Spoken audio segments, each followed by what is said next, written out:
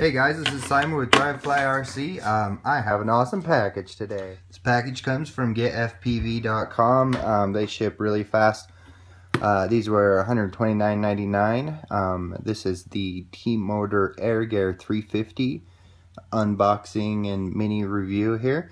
Um, we're going to take a look, open up the box, and look at the initial quality, um, and just check it out.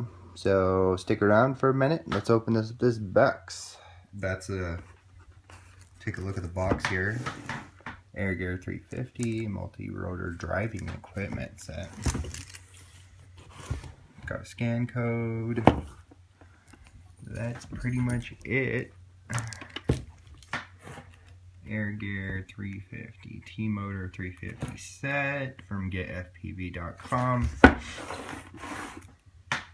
I will be doing a full review on these motors at a later time after I have some time to do some testing on them.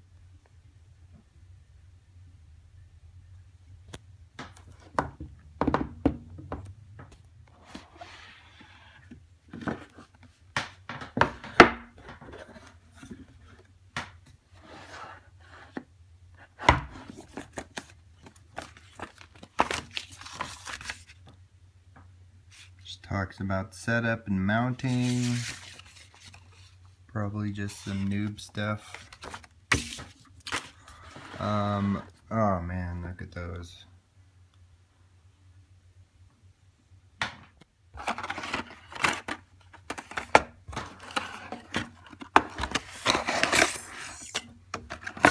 Looks like uh, carbon filled props. Um, these are the self-tightening version. Uh, this nut actually comes off, so you can use a traditional style mount on there. That's traditional style bullet. Um, looks like you can use the T-motor style mounting with the screws too, and I just might do that because I don't really like the bullets. But um, I don't know if screws are any better though. So, so yeah, there's the the props. I think they're uh, 95, 45. Yeah, they are a 9545. Um, quite a serious pitch on there. Uh, I'll review those as well later. Um, let's take a look at the motors now. I'm going to put these back. Let's take a look at the ESCs. Alright, I am impressed with the packaging. That's pretty awesome. I'm trying to get these out. I'm going to have to use my other hand.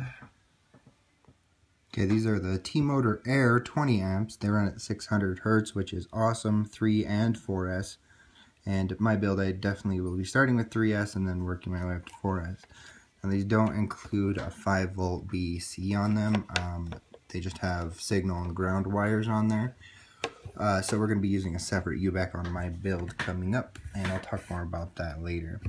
Now, uh, this ESC 20 amps for a 920 kilovolt motor um, is solid. You don't really need anything bigger than that. I have in the past used a 30 amp, but it's kind of overkill in my opinion. Um, I'm not sure if these are running the Simon K firmware. Somebody mentioned they might, it, it, they feel like BL Heli uh, firmware, but I, I'm not sure. I'll have to do some more research on that. My initial impressions of these ESCs are very good quality. Um, they already have the bullet connectors soldered in right there, which is nice. I don't typically use those, uh, but it makes it simple, especially if they're soldered right to the ESC.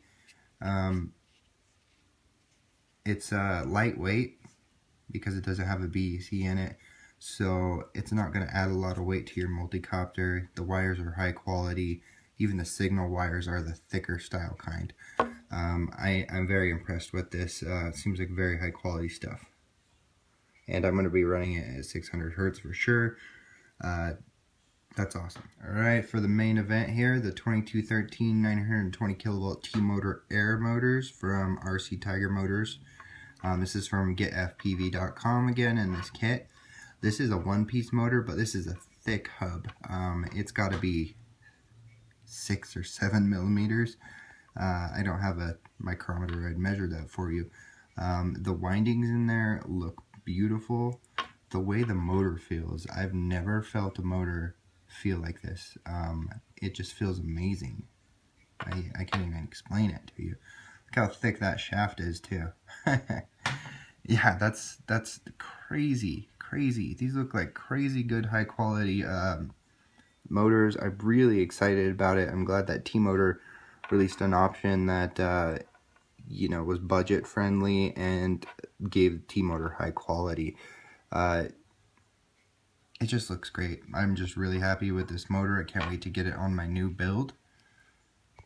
So uh, leave a comment, tell me what you guys think of your initial impressions of the motor. Um, thanks for watching. I'll have a new build coming up with these on it really soon. Uh, please subscribe and uh, like, comment below. Thanks. Have a nice day.